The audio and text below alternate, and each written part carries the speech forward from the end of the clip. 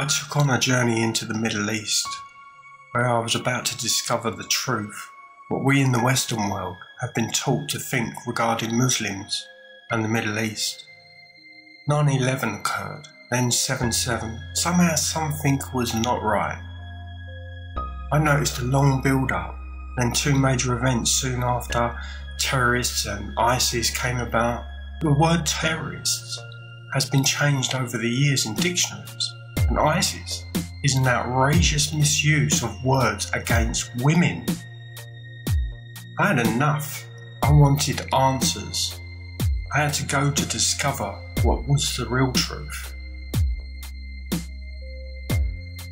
What you're about to read is a one man mission through the Middle East, uncovering the truth as he journeyed across the land crossing borders.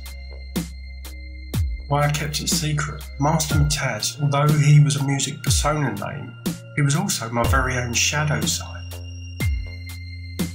A seven year inner battle was occurring with Master Mutaz loved the mystery behind stuff and adding glamour to details, playing out parts like a movie no one had ever seen before but him. He was my ego, who wanted to remain mysterious. I knew he was not helping me. In fact, while he remained in control, the true story could not shine in all the beauty I found. The world really needs to hear this journey and what it stood for. Innocent people are hurt why many think Muslims are bad.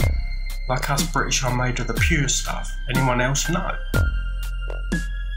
That's so far from the truth. We all have flaws. He who points the finger and all that jargon. Take the journey into the unknown with me and discover what you may never have heard before, especially if you've never been